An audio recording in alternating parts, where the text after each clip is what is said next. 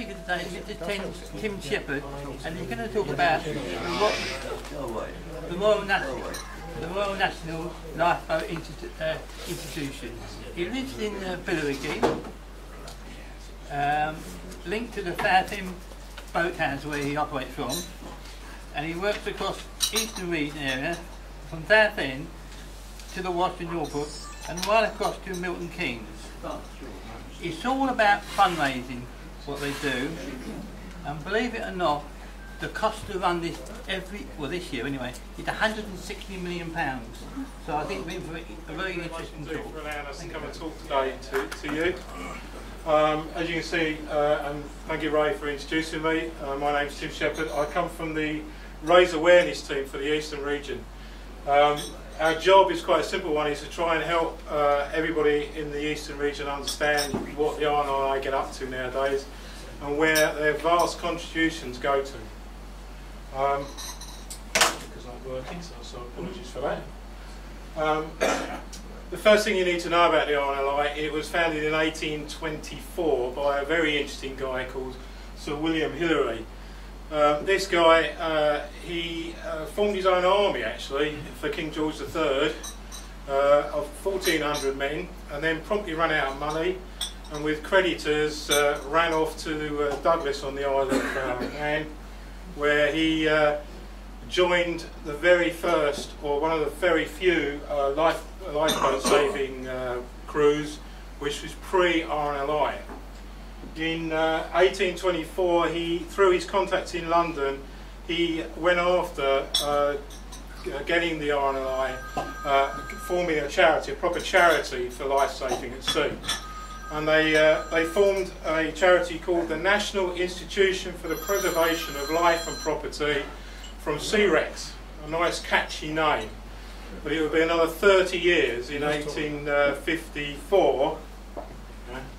In 1854, they actually changed the name to the RNLI. And just as a matter of interest, in 1854, that was the first time they actually issued uh, life, guard, life vests to the crews. So for 30 years, they were rowing out to sea with absolutely nothing other than just their brawn. Um, nowadays, the charity operates 235 lifeboat stations and 150 lifeguard units. But we do a lot more than that, and I'm about to show you what we do. Uh, we celebrate the past through for a number of uh, museums. I'll point out uh, the Henry Blogg Museum in Cromer. Uh, that's the nearest museum to us here. Um, I've been up to see it. If you ever get a chance to go, it's a really good museum. Um, there's also a really good fish and chip shop, which we just experienced uh, through your lunch, just round the corner. So I highly recommend that as well. Uh, you'll also see the Grace Darling Museum. Uh, of course, Grace Darling and the rescue in 1838 uh, actually um, brought to the forefront uh, life saving at sea. Well, that's enough about the history. Um, today, we continue to be an independent charity. We are not funded by the government at all. We get less than 1% of our income from the government, and most of that, if not more, goes back in a thing called irrecoverable VAT. So they still take it from us even though uh, we're a, a charity. Um, this is uh, a very popular issue we've got right now. Uh, if you watch the TV, every time the, the TV comes on with a news thing about the Coast Guard, as you know the government's about to change the regulations of the Coast Guard and reduce the number of Coast Guard stations, what they do is they show a picture of an RNLI lifeboat. We are not part of the Coast Guards, we are a totally separate organisation. All the Coast Guards do is through their, through their centres, they coordinate all rescue at sea. That's the helicopters and the lifeboats. If you get a problem at sea and you do a mayday, or even on shore and you do a 999 ask to the Coast Guard, they will contact the RNLI operation officer office to actually get authorisation to launch a lifeboat. Uh, what we do then is we actually send out a bleeper mes message to all our to the crew in, in question through our own uh, communication route, uh, and that then summons the crew to the lifeboat station. So it is totally independent from uh, the Coast Guard. So if you see anybody talking about the as part of the Coast Guard, please correct them. Um, we are totally reliant upon volunteers, of which I'm one. Um, we have over 4,800 crew members, 2,000 shore helpers. That's people who actually help launch the boat, maintain the boats, um, and we have 800 lifeguards. Uh, most of them are young children, young young children. They're young people, because I don't know about you, but I can't swim out to sea like they can nowadays. Um, who are paid for by the council, but they're actually trained and operated. All their kit comes from the RNLI. Uh, we also have over 35,000 fundraisers in the, in, uh, in the organisation. And there's only 1,300 fully paid staff in the RNLI. So it's all volunteers. So I don't know any of you run a big corporation, but if you've got 30, 35,000 people doing your fundraising that can basically not turn up if they don't want to, that's an equally uh, challenging point. Um, fewer than 10% of our crew are now professional mariners. In days gone past, they were all uh, taken from fishermen or local fishing, uh, local uh, people on boats. Nowadays, it all comes from people who just actually live around the lifeboat station. So if you're under the age of 40 and you want to be on a lifeboat and you're close to Southend or Sheerness or even Burnham-on-Crouch, then you can join up and we will train you in every single aspect of life saving at sea. Um, our crews, as you will well guess, are on um, on standby for 24 hours a day, 7 days a week, 360 days a year.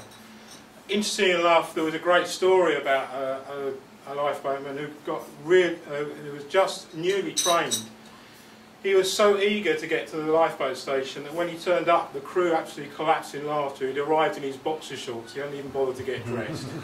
so uh, these guys are very, very enthusiastic to get out there. Um, in 2009, and I apologise, I don't have the 2010 figures yet. They're not available to me for at least another week and a half. Um, they launched over 9,000 times, the boats, and they rescued over 8,000 people. And when we talk about rescuing people, these are people whose lives are physically at risk. So they, they and in their time, since 1824, they've saved over 140,000 people from the sea. Our lifeguards dealt with over 13,000 incidents and assisted 16,000 people. Now I'm about to show you a video of a lifeguarding incident um, because what it does is it shows you that the RLI aren't there just for people out on pleasure cruises or, or the cruise of uh, fishing boats.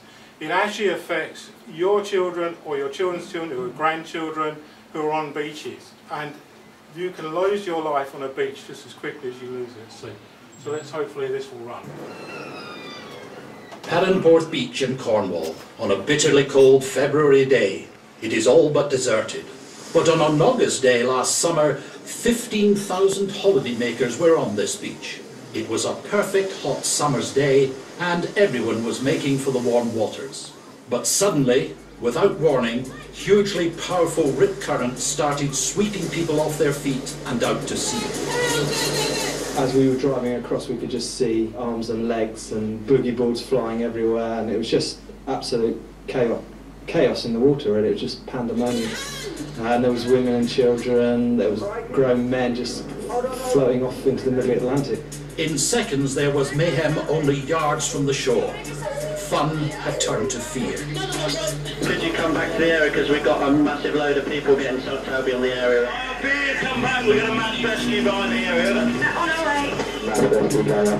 Within seconds, the inshore rescue boat was powering to its first casualty.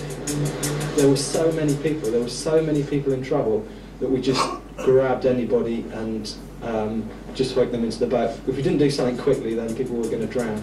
So uh, Sophie and I, you know, she picked up people, put them in, I put them in, and um, we then turned the boat around, headed for shore, dumped them off, then sped back out again and tried to uh, uh, pick up more people.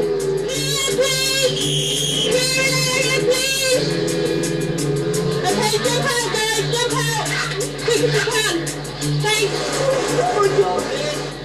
It all happened in 10 short minutes. 30 people had been plucked from the sea.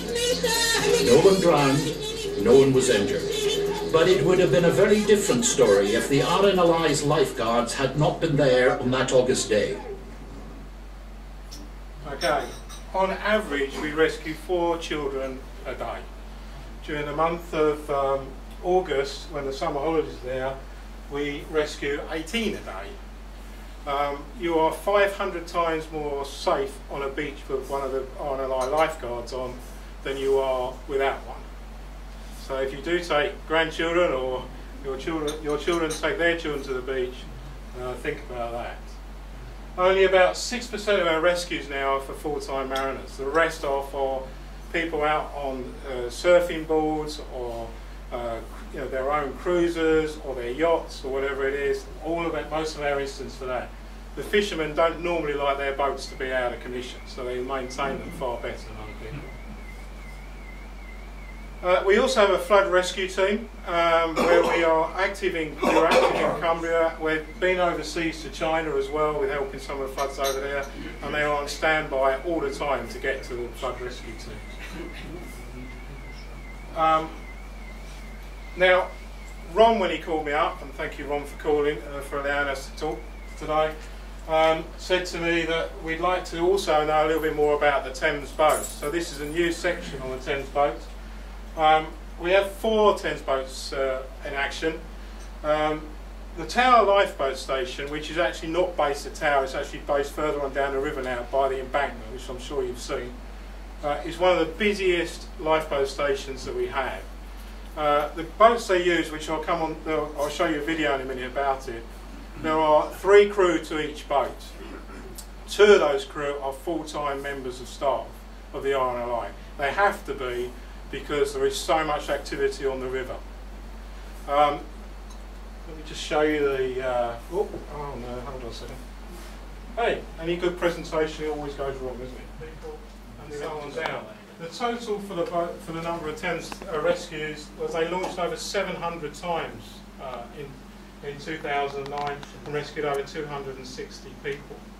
On New Year's Eve alone, this year, the Tower boat rescued four people from the, from the Thames who were so drunk that they fell in. okay, so we were on call four times.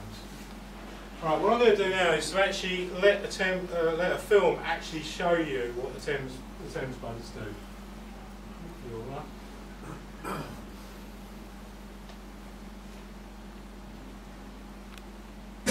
The Thames is now served by four RNLI stations. London is a city of, I suppose, upwards of 8 million people. Figures of 100,000 people every day use the Thames. In all of the UK and Ireland, uh, the station at Tower and the station at Chiswick are the first and second busiest. Uh, between the two stations cover the 25 miles of the River Thames that travels through London. RNLI crews aim to get to 95% of reported casualties within 15 minutes of the emergency call. Here on the Thames, the boats that we use are specifically designed to work in this environment. They work in very close quarter situations where things happen very quickly. Because of that, the boats that we use here are entirely open. They're powered by twin water jets, which give them fantastic maneuverability and control in very confined spaces.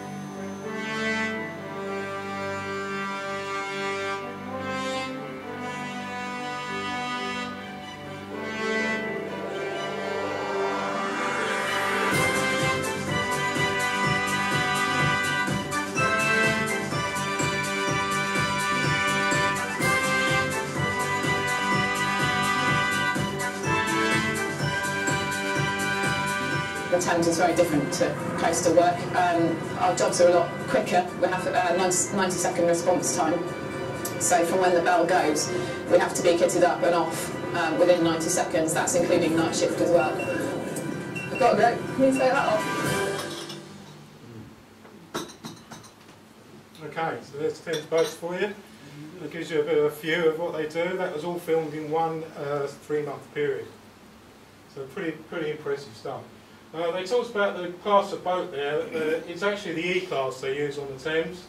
Um, the Trent is at Sheerness for you. Uh, the Atlantic 85 and Atlantic 75 is at Southend, along with a, heli uh, a hovercraft which goes out onto the flats.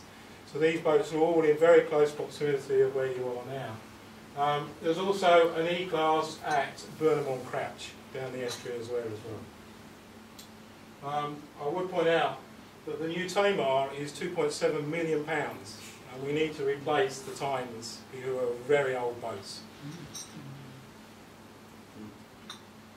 Okay, we also build 60% of our own inshore uh, ribs uh, at our facility in Cowes on the Isle of Wight. Uh, we then sell some of these boats off to other rescue services.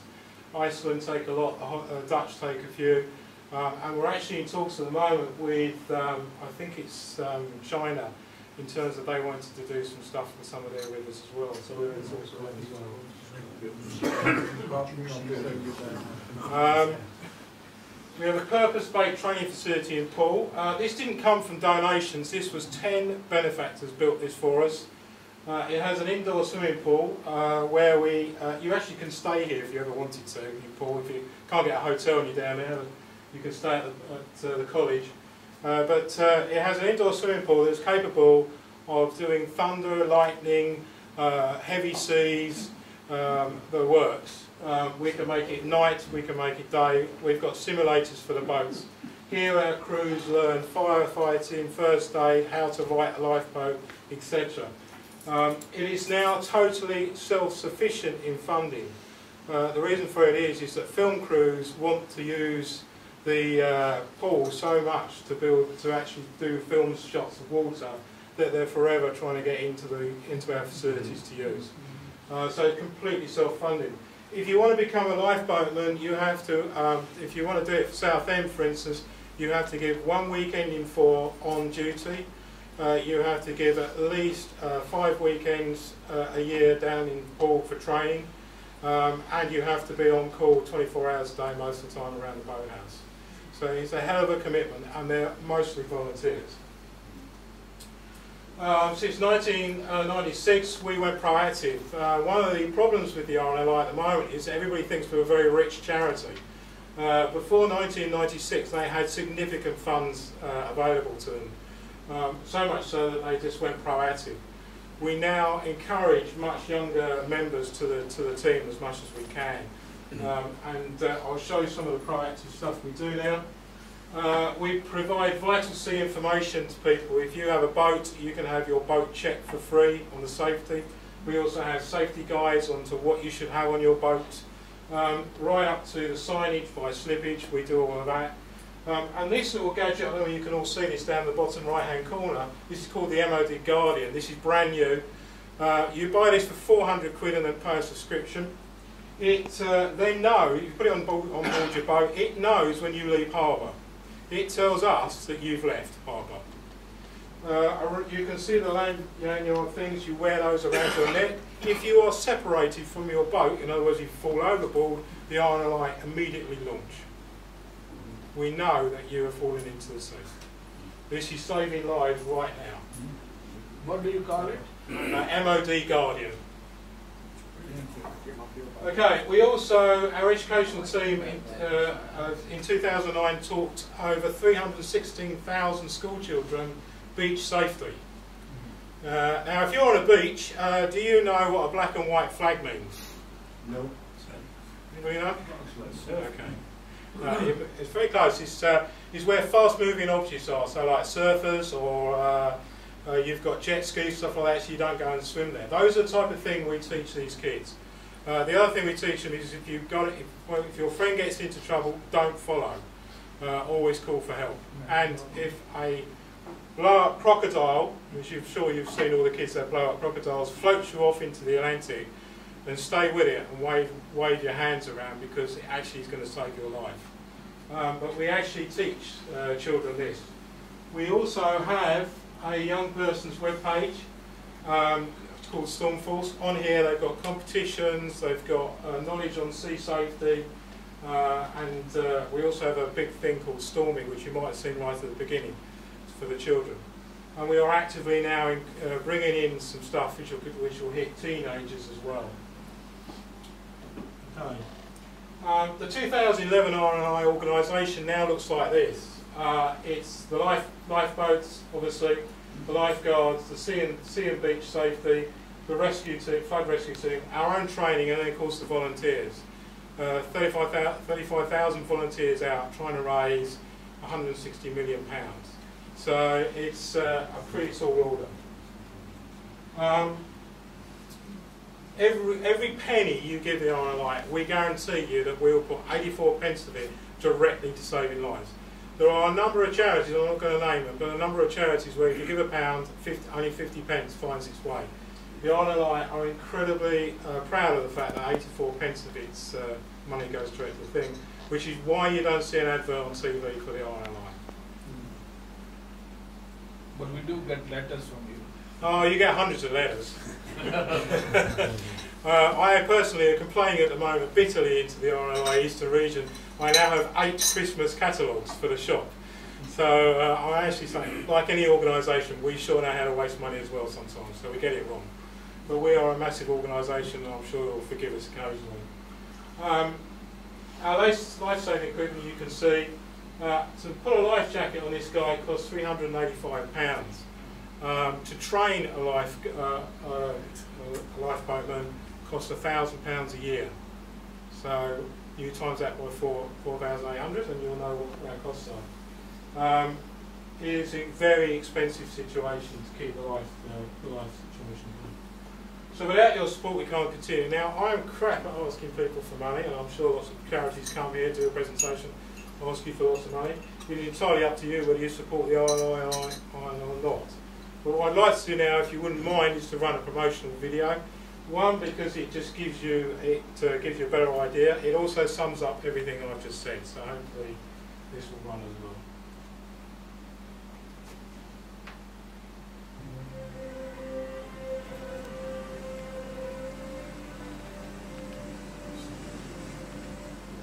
The sea. It's where the RNLI do what we've always done.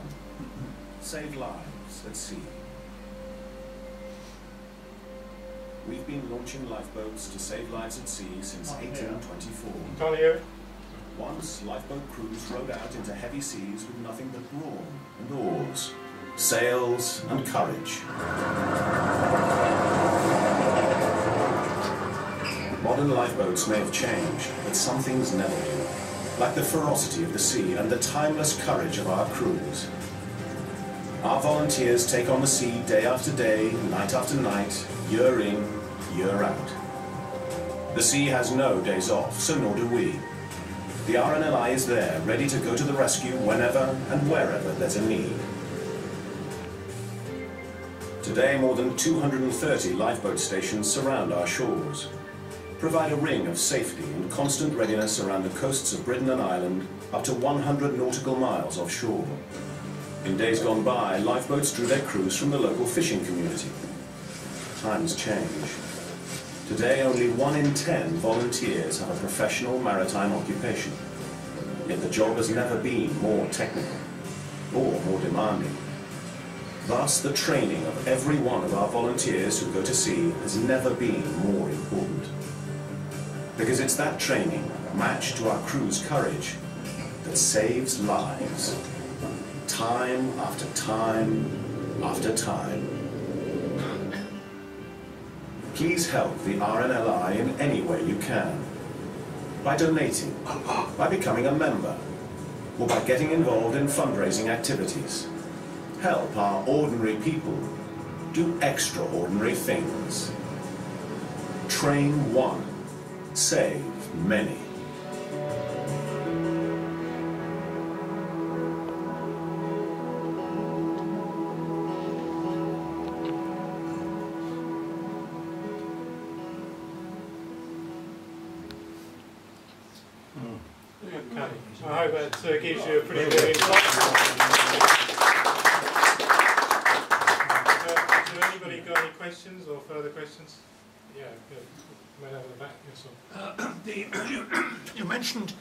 about the uh, cuts in the Coast Guard service. Yeah. What is the impact on the RNLI of that? It's, it's going to be, we don't know yet, but it's going to be quite big. They're talking about closing 8 out of 18 stations. Uh, and therefore, where the Coast Guard is getting regional stuff and knows to launch the lifeboats, we've got to re rejig all our operations to take it from just 8. So it's going to have a big impact. And is the government giving any money to take on this extra? None whatsoever. So, yeah, no. Yeah, just a few quickies, but um, I gather it's probably a decision on the part of the RNLI not to seek government support because you've always wanted to maintain your independence and not be regulated. That's fine, isn't Yes. it? Yeah. Um, the other thing is the, the hovercrafts, did they come in in time to help at Morecambe Bay with the shrimpers? Yes, I mean there are there are only seven. I think there's seven hovercrafts, but they're normally placed where there are estuaries like that. Um, I mean I can find out for you, but um, I'm not. I don't know the answer. I'm sorry. And do you get help from the Metropolitan Police launches with the Thames rescues? Yes, actually, every time if you don't jump in the Thames and we pull you out, the police come straight away and arrest you. All part of the service. As if you were alive, of course. but, but I think the most important thing I have in the back of my mind is that you must be suffering uh, because of the culture of holiday homes and the like in finding crews who are now able to afford to live near enough to a lifeboat station because obviously lots of coastal homes are taken up by outsiders. Yeah, we, we, there's no doubt we've got a continuous desire to bring more people on. Um, luckily enough, we get a lot of business people, you know, normally the lifeboats are in, in a community where there's shops and stuff like that. We do get quite a lot of business people who are running the shops to actually join, join and come onto the lifeboats. We also have a number of sort of 18 and 18 year olds upwards, 19 and 20 year olds who are quite keen to take part. But you're right, as, uh, as things change in the coastal areas, so we, so we have to adjust to get the lifeguards into So is there a time limit for call-out, distance travelling and so forth? Um, yeah, now I do know the answer to that. We are we launch our offshores in 12 minutes, I think it is, um, and we do. So you've got to get a crew uh, member there in 10 minutes then, don't you? Yeah, you. oh, Let me just check that for you. Hold on a second. Sorry, sorry. viewers. Um, I can check that. We take an inshore boat takes seven minutes to launch, and an all, all-weather boat 12 minutes. Um, Southend takes 20 minutes because they've actually got to get down the end of the pier. so, I mean, it does mean that the crew member's got to be within 10 travelling. Yeah, you've got to be able to get to the crew, to the to the lifeboat pretty quick. tough in some Yeah, cases, it keeping is. Yeah, definitely. Ju- Sorry, just one final thing, which was, um, if I may. Um, I- at Bembridge last year, and I noticed they were building a big slip at Bembridge, which I gathered was to launch obviously a faster, more powerful Yeah. lifeboat.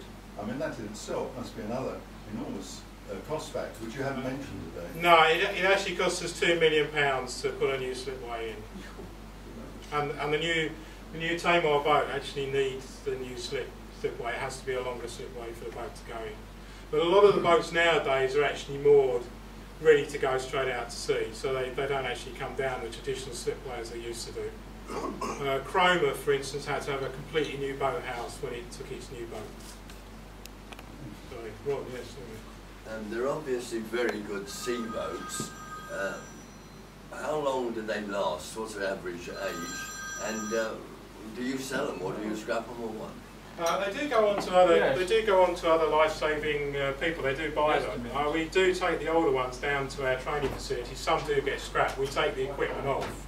I mean, a lot of the equipment on board these boats is reusable, as you can imagine. So we take it all off. Um, the the the boat that um, you'll have to forgive me. I've only I'm getting used to all the names of the boats and everything.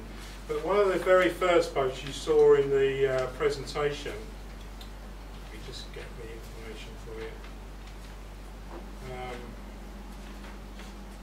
okay. Um, the Tyne um, was introduced in 1982, and it was the year after the Solomon Browne um, loss of the wooden boats um, uh, down in Cornwall. So it's um, actually that's the first metal boat that was ever put into the RNLI, self-righting metal at the time. But as you can see, it was put on put on station in 1982. There are very few of those. They're being replaced now by the Tamar.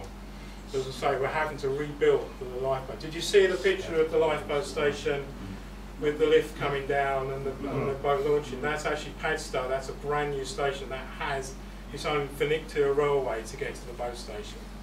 Are they British built? Sorry? Are they British built? Yes, they are. Was I? Sorry. Um, obviously, many of your volunteers hold down everyday jobs. Yes. So you rely a lot, a lot on the goodwill of their employers. Yes, and we you do. Don't- don't have any problems. We don't have any problems. Most people, most employees will, will happily in the coastal areas allow us to have people on the boats. As you can see in the Thames Basin again, we've got full-time staff. Yeah. Sorry. Is there a reason why the, the boats haven't got a, a winch on them so that when they pick somebody up, they can't just put the winch out and then just drop a, a line to pull of Um, on the on the bigger boats, your weather boats, they do actually have the, some of the they have the winches on them to actually pull people out. Get people out, it's not always easy. Um, no, it's uh, but because we're using fast, active ribs to get to the people, they, but there's the weight issue as well on board the boat.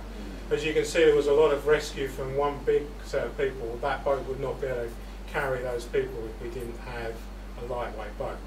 Um, it's mostly the Thames that they're pulling people out of. We'll have to uh, get you Yeah, to come sorry. back. We'll have to get you to come back, Tim, and speak some more because it's a very interesting uh, topic. Topic what we're discussing. Um, I'd like to call upon uh, Alan Thomas now, please, to give a vote. Thanks. It is a nice day, isn't it? Mr. President, fellow Rotarians, guests, Tim, that was a wonderful uh, show you gave us there. Yeah. It was a brilliant talk, Yeah. brilliant videos and uh, skills, etc. I couldn't do it better, but I did myself. Wanna go? Yeah, I do. so you do fantastic work. It's something that's always been close to my heart. And that's all I can say is I wish you every, every success in the future. Yeah. Thank you very much. Yeah. So, in your way. Thank you, Jim. Okay, thank you. Thank you.